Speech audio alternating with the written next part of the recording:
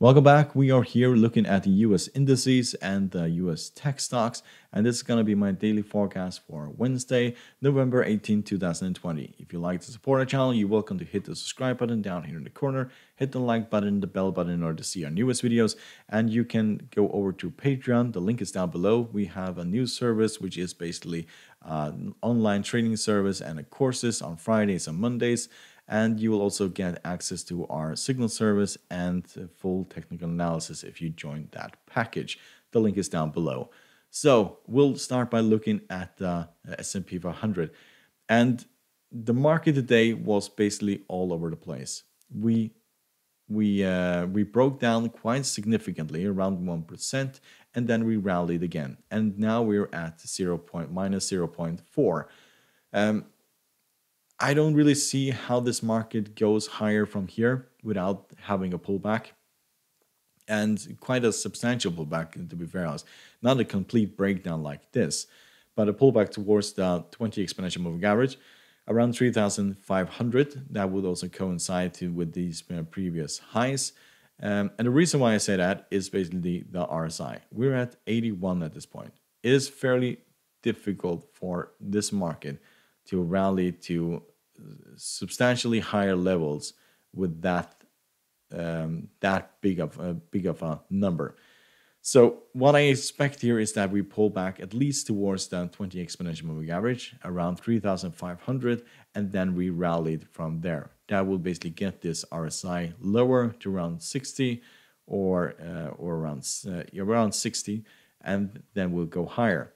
There are indications that that is going to happen we had the CCI, which is basically flat. We had the stochastic crossing the signal line, and we are basically at the top of the Bollinger Band. So these three indicators are showing signs of exhaustion here, and this is just completely overbought. MACD is not showing sign of exhaustion. It is turning a little bit, but we're really far away from the signal line. We need to cross the signal line in order to, to uh, have an indication that we are going to go significantly lower. So, but that is what I expect. I do expect a pullback towards the 3,500 area in order to go higher from here. A break below that opens the door to 3,400. So look at the Dow Jones. It's very similar here um, compared to the S&P 500. We have rallied significantly all the way up here.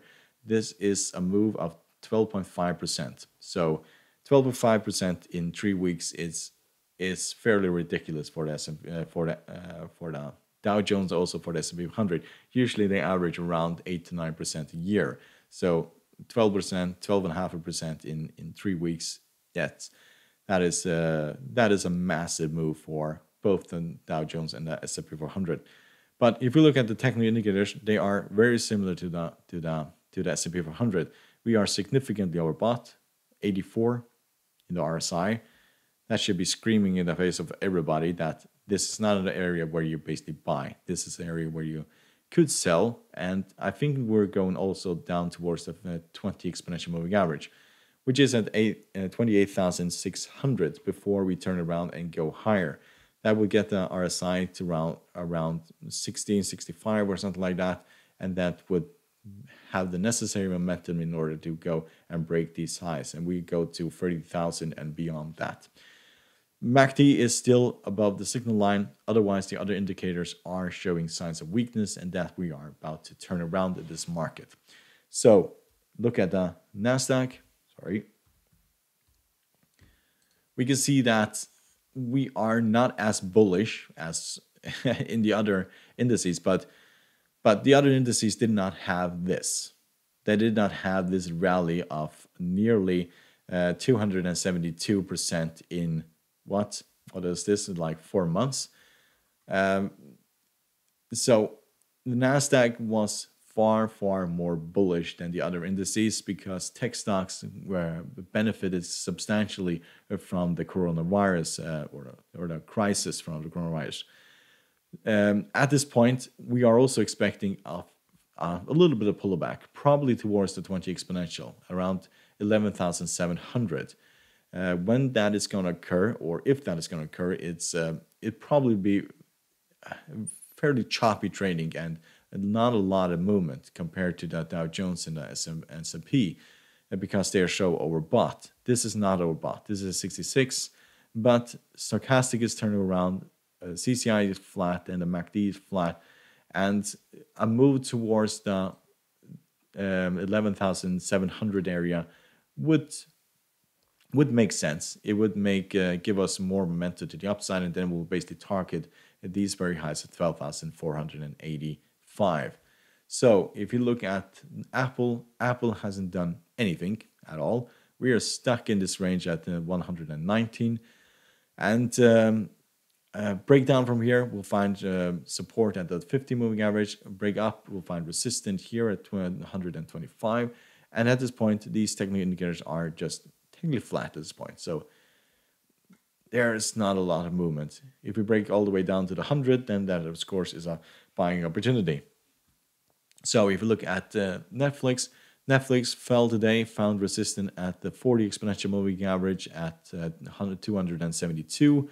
Um, at this point, we'll probably go lower, all the way down to the 50 moving average at uh, at 268 uh, uh, before we turn around. If we break below that, then the 100 moving average is down here will be significant uh, support. So Microsoft also fell today, found uh, support at the 20 exponential moving average. If we fall further, then we have the 150. If that breaks, then we'll go all the way down to the 150. That is most likely what is going to happen here because if you look at these technical indicators, they are all looking fairly bearish at this point. So um, heads up, we could basically fall far, far lower in this market. People are not preferring tech stocks. They are preferring the high growth uh, stocks that have been left behind, like the airlines industries and um, um, cruise liners and so on and so on. And also, of course, um, medicine industry is, is uh, uh, people are pumping money into that and not tech stocks at this point. So Google, we are stuck still in this range. We have a little bit of a candlestick here. We are significantly overbought in, in this stock. So we're at 87. So a major pullback is expected, uh, at least to the 20 exponential moving average is around here, and that is also coincide with the, the highs here, and that is around 1698. Um, so a move towards that uh, exponential moving average is very likely because the we are significantly overbought and these indicators are all turning around and are turning negative. Amazon, uh, quite a good day today. Um, they had a news. They have launched a new service with which basically delivers medicine, and uh, of course that is a major, major industry for for Amazon, major industry in the United States. But Amazon will most likely be king in that industry as well, and that will um, greatly increase their um, uh, revenue or profit, and that will increase their value of their stock as well. So at this point, if we get a green, a green candlestick above the 50 moving average, then we go to these highs of 3,372 and then probably to these very highs. Technical indicators are turning around, so that is very likely. So Netflix pull back quite significantly towards the 150 moving average. At this point, uh, we'll we, if we rally from here, we probably will target uh, around 499 area. Um, we need to break the 50 moving average in order to go to these very highs. But we have stayed in this area for a very long time. Um, I don't think we will break down from, further from here, but uh, it's just a question how long we'll stay within this area.